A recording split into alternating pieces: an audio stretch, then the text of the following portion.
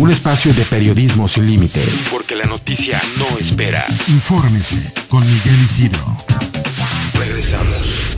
Una jornada compleja la que se vivió en la ciudad de Matamoros, habida cuenta de algo que es muy lamentable, la psicosis, pero sobre todo la que se genera a través de la reproducción de un remor, eh, pues boca a boca, y cuando también en torno al rumor, pues se da un vacío por parte de no solo de la autoridad, sino de actores sociales que debieran ser claves para mantener la calma, bueno, pues usted se imaginará en qué deriva todo esto. Y sí, efectivamente el día de hoy eh, hubo pues algunas supuestas amenazas de bomba en planteles educativos de la localidad que afortunadamente fueron verídicos, pero esto bastó para generar mucha, mucho nerviosismo, psicosis, y bueno, hay pronunciamientos al respecto.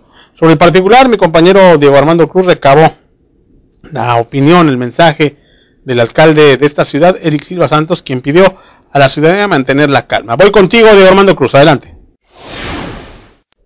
Ante la psicosis que está enfrentando la ciudadanía matamorense y ante la ausencia de alumnos en las diferentes instituciones educativas, el alcalde Silva Santos pidió a la comunidad matamorense que mantengan la calma, ya que el problema que se está viviendo actualmente no es meramente de los matamorenses, sino de todo el país. Es por ello que los ciudadanos deberán duplicar el esfuerzo para así salir adelante de esta adversidad. De esto nos habla al respecto el alcalde Eric Silva Santos.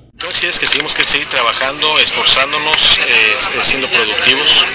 Sabemos que lo que está viendo nuestro país es algo inédito, no es exclusivo ni de Tamaulipas ni de Matamoros, es a nivel nacional. Y obviamente el compromiso es seguir esforzándonos. No hay mal que dure 100 años, esto ahora tiene que pasar. Y obviamente Matamoros y Tamaulipas y tienen que seguir produciendo. Obviamente me da gusto que los maestros sigan esforzándose por darle educación a nuestros jóvenes y que obviamente bueno sean la fortaleza y la parte productiva que necesitamos en nuestro país en los futuros años.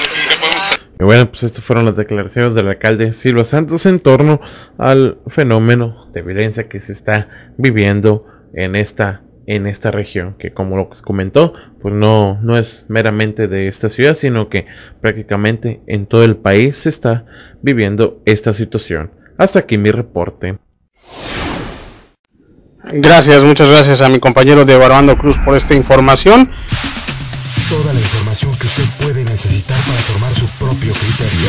Infórmese con Miguel Isidro. Líneas de la Libertad. 149-1001 y 149-0997. En un momento regresamos.